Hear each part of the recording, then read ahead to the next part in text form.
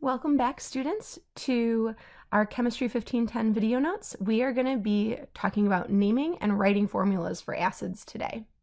So when we start talking about acids, all of our acids have something in common. They have hydrogens that are in the front of a chemical formula and they are going to be based off of either monatomic ions or polyatomic ions.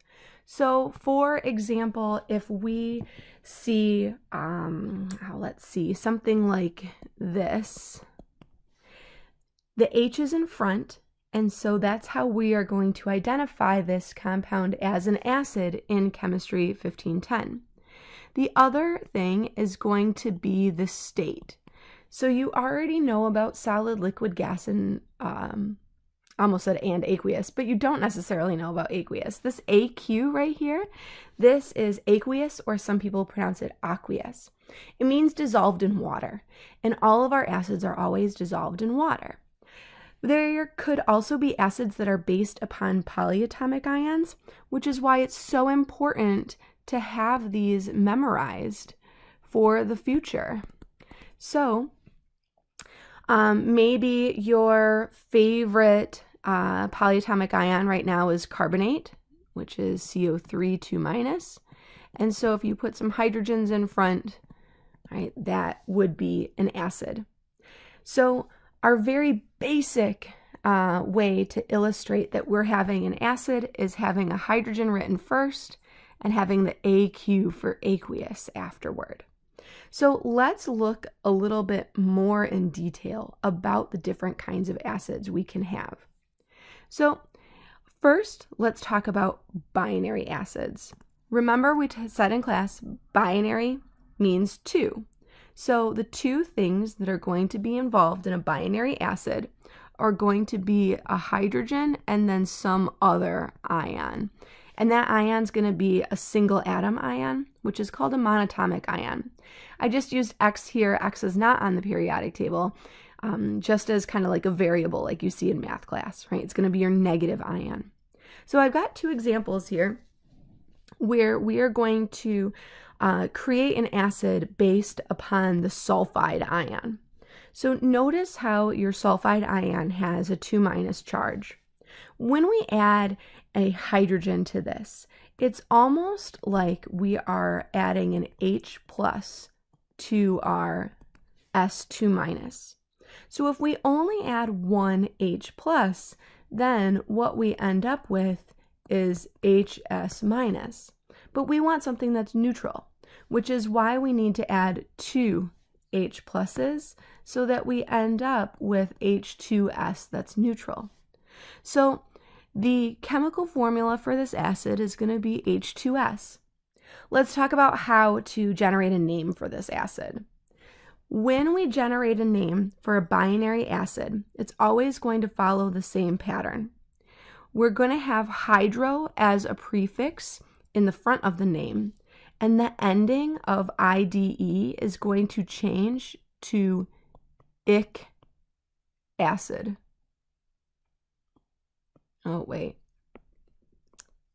I thought that said ic acid. Let's put, uh, let's just box the ic. So when we write the name for H2S, we're going to recognize that this is binary. We are going to write the prefix of hydro. Then in the middle, we're going to put what's called the parent. The parent is going to be the sulf. And it's not really the sulf because um, there's some pronunciation things going on that are kind of hidden in the background. So imagine I said hydrosulfic acid. So try and say out loud sulfic. I find that difficult to say. I think it's easier to say sulfuric. So knowing what the parent is in the middle here is going to be something that just kind of comes with practice. So we're going to call this sulfur is the parent. And then uh, we're going to add the ic and the acid. So hydrosulfuric acid. And there's really not a space between the U or the UR and the IC. I was just trying the IC to make it not be underlined so that I was underlining the parent. Let's do another example. Chloride. Chloride has a negative one charge, and so we only need one hydrogen to cancel out that negative one charge. So same pattern, we're gonna start with hydro. We're gonna put the parent, and for the parent for chloride, it's uh, chlor, C-H-L-O-R. We're gonna end with ic and acid. So the hydrochloric, that's all one word. So we need to make sure that we can classify our acids as binary or ternary because they have different naming systems. So we've done the binary, let's do the ternary. So ternary is three atoms in your acid. And notice how here they're being called oxo acids. They're being called oxo acids because they contain oxygen. So they are going to be based upon polyatomic ions. If we look at the parent for something like SO4 2 minus, that has the ending of ate. And what we're going to find is if the parent ion, and the parent is just what the acid is based off of, if it has an ate ending, we're going to change the ending to ic and add the word acid. So in this case, we're not adding any prefixes. We're going to make sure we include the number of hydrogens needed to cancel out the charge. So if I have a 2 minus charge here, I need to have two hydrogens. Oh, and you know what? I forgot to write my aqueous here. So let's go back and do that really quick so that we know we're talking about an acid. And then for your ternary oxoacids, there's no prefix. You're just going to take the sulfate, so S U L F A T E. You're going to cross out the ate and you're going to add instead the ic acid. So again, we look at this and we start to try and say out loud sulfic acid. Sulfic acid just doesn't come off your tongue as easily as sulfuric acid. So in some instances, we might add back in some letters of the parent for pronunciation's sake. And sulfur is one of those examples where we add back in the UR to make things uh, easier to pronounce. For uh, the next example, we don't have to add any additional letters in. So let's look at perbromate. We are going to write the formula first. So we're going to have one hydrogen because perbromate has a negative one charge. And we need one H plus to cancel that out.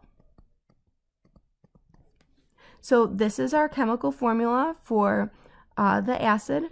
Because it's acid, it's dissolved in water, so we're going to include the aqueous. So when you have a parent that is something like perbromate, that it already has a uh, prefix because the per came from the name of the polyatomic ion, this prefix stays. Don't drop it, don't change it, don't do anything to it. It's part of the name of the polyatomic ion. So we're going to take that um, ATE ending, we're going to get rid of it.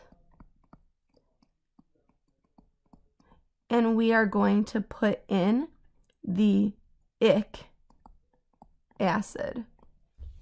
So we've got ic acid, ic acid. Whereas before we had hydroic acid. So the difference between your binary and your ternary is here you had hydroic acid, and this one just has ic acid. So, of course, it can't be as simple as that. There is one more naming system. Because what if your ternary oxo acid had a parent that ended in ITE instead of ATE. So let's scroll down and see how to name those things. So if you have something like sulfite, you're going to take the ite ending and change it to us and add the word acid. So again, when we write the chemical formula, we're going to include enough hydrogens to cancel out the charge, and then we are going to write the AQ for aqueous. So for sulfite, we're going to take the sulfite, we're going to take the ite, get rid of it, and we're going to add the us acid. And so now we have another instance where um, pronunciation comes into play. Sulfus acid, it's kind of hard to say. So we add back in the UR. So it's uh, sulfurous acid. And so I'm just going to go ahead and kind of sneak back in here, put in that UR, and end with acid. The good news is, is that really doesn't happen very often. It really happens for sulfur and phosphorus, uh, and the other ones kind of stay the way that they should be. All right, let's look at this one. Hypobromite is the polyatomic ion's name. So if we take that polyatomic ion, we add a hydrogen because it has a 1 minus charge that we need to cancel. We put in the BRO because that is the chemical formula for hypobromite. And then we start to write the words um, us acid. Here, we need to keep the hypo because like before, the hypo was part of the name of the polyatomic ion. We're going to keep the brom. We're going to get rid of the ite and end with us acid. One of the things that people find really confusing is the fact that here we're seeing hypo. And if you look back up on the top of your notes, binary acids used hydro. That looks terrible. Let's try that again. Hydro. All right. Notice how hydro and hypo pretty darn similar to one another. So we need to make sure that we remember that this is not used here. This is, the hydro is just used for binary acids. So the pattern for it uh, ternary oxoacids is the parent and then us acid. So let's talk about why we made a big deal about putting the AQ at the end. There are some compounds that you can see both as acids as well as gases and hydrogen chloride is one of them. So if we had hydrogen chloride with no aqueous at the end, we would mean that we had a gas. And if so, then this should be correctly named not as hydrogen chloride, but hydrogen mono chloride. Whereas if we had that AQ, meaning that it's dissolved in water, now we need to make sure we name it as an acid. So we do the hydro and we have the ick and we have the acid. So that's something to just keep in mind as we move forward. And it's a good uh, reason as to why we continually write this AQ at the end. So let's do one or two more examples. So we did, um, if I gave you the parent, you generated the acid and the name. So now if I give you the formula for the acid, let's figure out how to determine the acid name. First, you need to look at HI aqueous and classify it. Is it binary or is it ternary? So if it's binary, which it is, you're going to follow that pattern of hydro, ic, acid. So the middle part is going to be um, an iodine, and the kind of abbreviation for iodine is iodo. So this is hydro iodic acid. And you're saying, wait, You just told me the abbreviation for uh, iodine was iodo. Ah, but yes, if we did iodoic acid, then we'd have that double vowel issue. And so we drop the first O there. So uh, if you have an acid formula that is based upon a polyatomic ion, let's do this one, then you need to first identify the polyatomic ion. So this right here, the IO3, that's your polyatomic ion. That poly polyatomic ion is called iodate. So if we have an ate ion, we're going to take that ion and we're going to change the ate ending to ic acid. So this is iodic acid. Look at the difference between the first one we did and the second one we did. That hydro is the only difference between those two, and they are very different acids. Let's end with a couple of examples going the opposite direction, where I give you the name and you give me the formula. So let's do, hmm, let's do uh, this one and this one. So hydrofluoric acid. To go from the name to the formula, you have to pull out the fact that you have a hydro in front. The hydro means we're talking about something that's binary. So when we talk about something that's binary, we know that it's just going to have an H and then the monatomic ion for fluorine, which is F. Remember, F has a 1 minus charge, so you need only an H plus to cancel that out. Because we're good chemistry students, we are going to include the AQ for aqueous so that we are telling the reader we're talking about an acid that's dissolved in water and not a gas. Then in the next one that we're going to do, we notice that there is not a hydro, but there is an ic acid.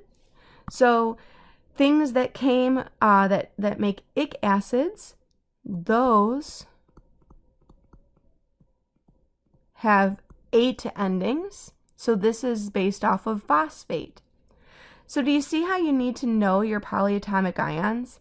Because if you don't know that phosphate is PO4 3 minus, you're sunk, right? You need to know the 3 minus because that tells you how many hydrogens to write. So if you have a 3 minus, you better have 3 hydrogens to cancel that out.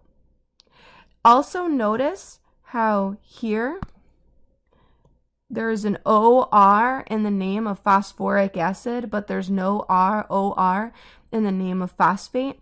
This is another instance like the sulfates going to, you know, uh, sulfurous. Wait, wait, wait, hold on. Um, it's another instance like the uh, sulfur containing compounds where we added back in the UR for pronunciation's sake. So here we're adding in this OR for pronunciation's sake because otherwise it'd be phosphoric acid, which is a little harder to say. Then we include that aqueous to make sure that we know we're talking about an acid. So hopefully this one uh, cleared some acid questions up and uh, get some practice in by filling in the rest of that table. And I will see you soon. Thanks for your attention. Cottone signing out.